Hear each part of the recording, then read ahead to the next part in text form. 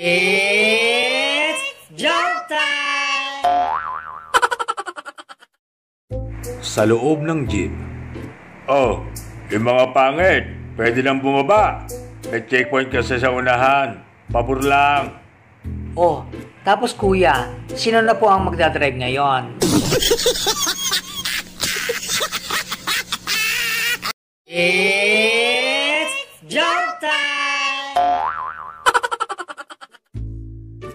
May isang lasing sa daan. Nakita siya ng isang pulis. Hoy! Umuwi ka na! Lasing ka, no? Hindi ako laseng. Lasing ka! Hindi mo ba ako nakikilala? Kilala kita. Pulis ka, di ba? Eh ako, kilala mo. Hindi! Eh ikaw ang laseng. It's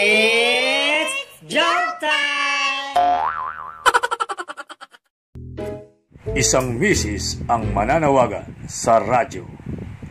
Sir, mananawagan po sana ako sa mister ko. Kasi, dinala niya yung limang anak namin. Ah, okay ho. Sige ho. Go ahead.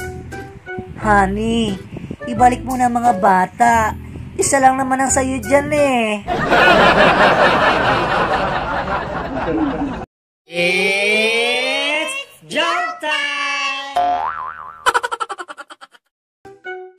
Aray, natuklaw ng kobra yung ari ko.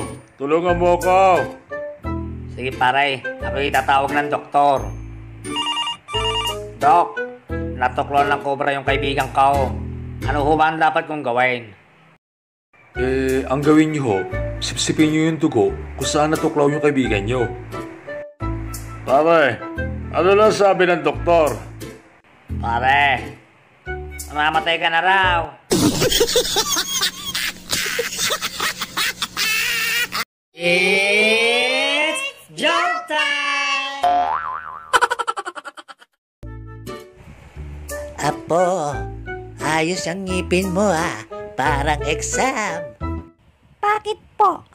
One seat apart. Sa inyo din po, Lola. Parang test. Bakit naman? Fill in the blanks. Okay lang yun, Apo.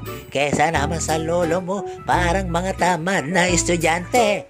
Bakit po, Lola? Lahat absent.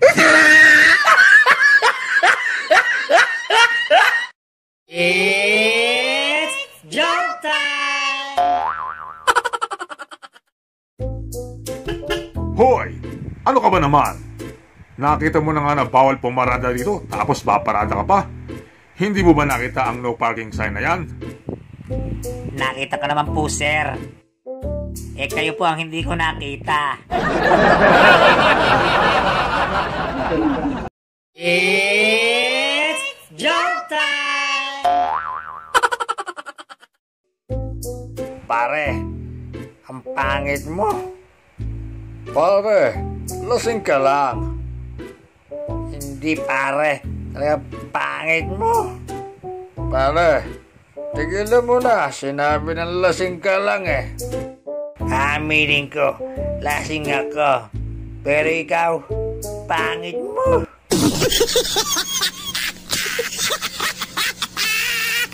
It's joke time! Isang parot ang inaasar ang isang lalaki.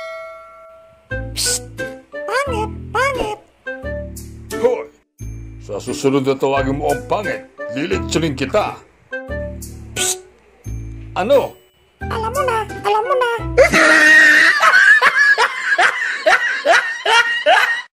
It's joke time! Pedro, dahil ikaw ay nagkasala, ikaw ay aming paparusahan. Anong gusto mong parusa? Ipakain sa leon o pasuka ng bubuyog sa puwet? Ah, mas gusto ko bang pasukan na lang ng bubuyog sa puwet? Ganon, mga kawal, ipasok si Jollibee! It's joke time! Tatay, pinagalitan po ako ng teacher ko kanina. Eh, bakit ka naman pinagalitan? Kasi tay, hinalikan ko po yung kaklase ko. Eh, ayos naman pala. Masarap ba, anak? Opo tay, kasi ang pogi niya.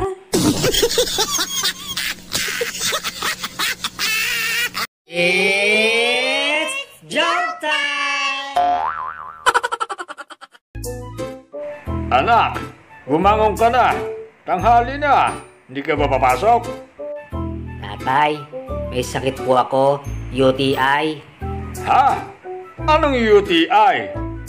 Umibig, tapos iniwan.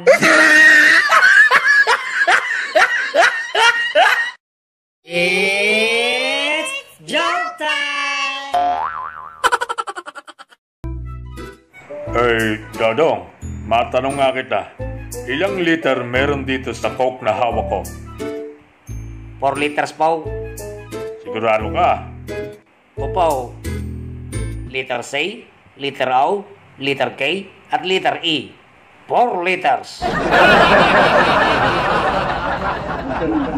It's joke time! Sa police station. Sir, kakasuhan ko po yung kapitbahay kong si Toto. Eh, ano ang isa sa mong kaso sa kanya?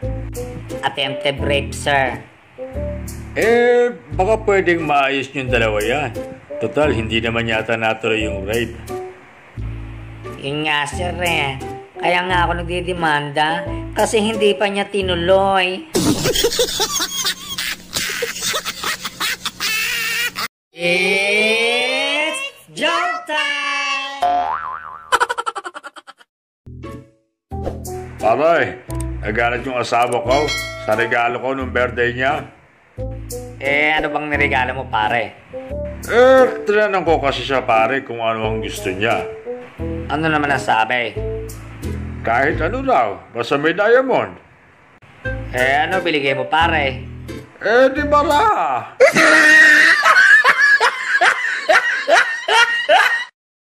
It's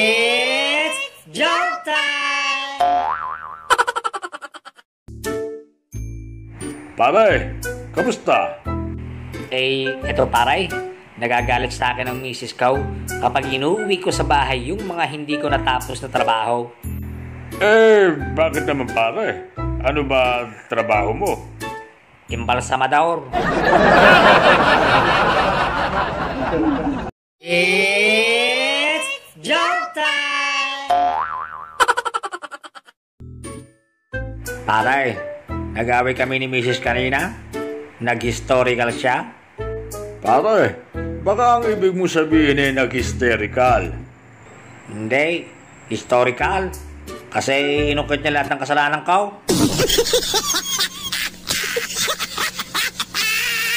It's joke time!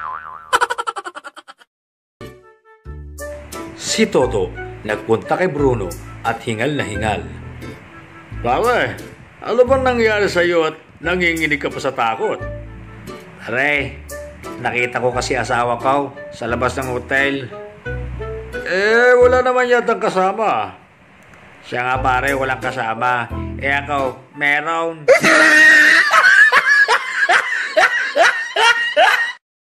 It's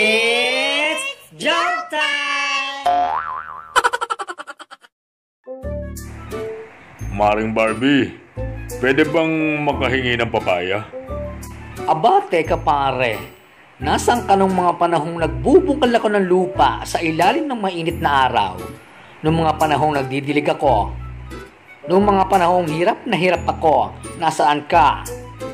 Eh, nakakulong kasi ako pare nun eh. Nakapatay ako ng madamot. Ah, ganun ba pare? Sige pare, kumuha ka na dyan. Damihan mo ha. Bailang ka pa dyan. It's joke time! Pare, ang tapang talaga ni Paeng. Pero imaw, tumulong sa aeroplano ng walang parachute. Ha? Totoo? Saan mo naman nabalitaan yan, pare? E di doon, sa borol niya.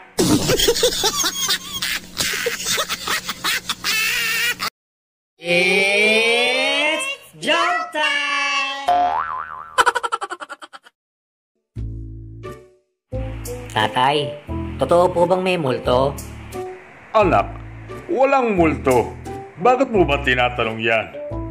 Sabi kasi ni Yaya, merong multo. Anak, wala tayong yaya.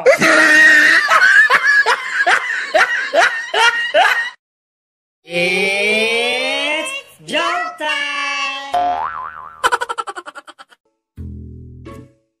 Eh, anak, ano nangyari sa at may pasaka? Nakipag-away po ako. Aba, astig ng anak ko ah. Eh, sino bang nakaaway mo? Si Toto po, yung tambay sa tindahan.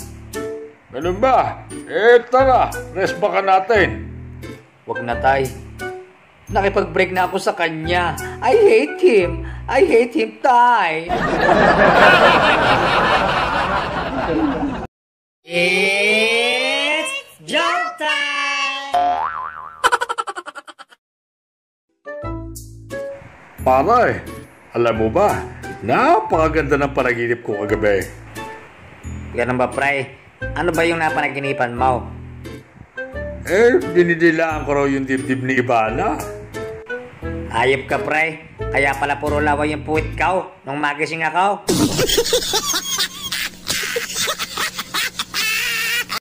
It's jump time! Pare, ako'y uuwi na. At gustong gusto ko na hubarin ang pante ng asawa ko. Aba, bakit pare?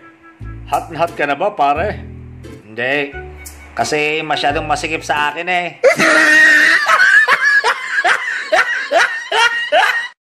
It's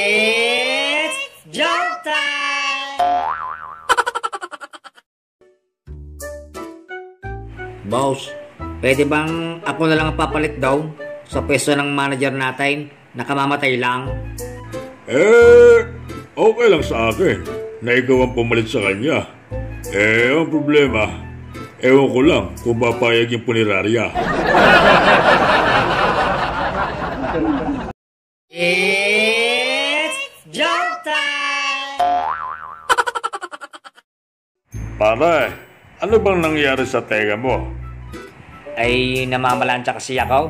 Nagiri yung cellphone ko. Eh yung plancha yung nadampot ko. Ganun ba pare? Eh, bakit dalawang tenga? Eh kasi tumawag ulit.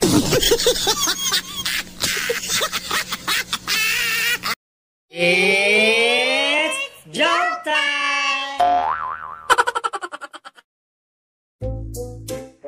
Paring Toto, eh ano ba ang zodiac signs mo? Ay, ikaw muna pre. Cancer, ikaw. Goiter. Pare, wala namang ganun, sira. Ay, joke lang pare. Ulcer talaga.